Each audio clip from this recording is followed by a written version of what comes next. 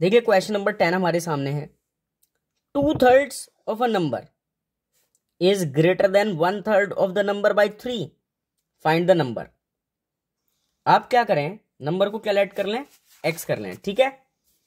तो आप कहेंगे let the number be X अब देखिए क्या कह रहा है। Two third of a number is greater two third of a number is greater ये बड़ा है। कितना बड़ा है, कैसे निकालते हैं हम? माइनस करके। कितना बड़ा है?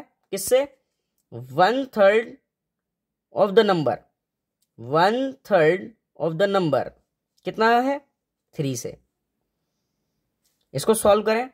तो कितना आएगा? एलसीएम देखो, दोनों का थ्री डिनोमीटर सेम है। तो टू एक्स में से एक्स गया, क्या क्या बचा?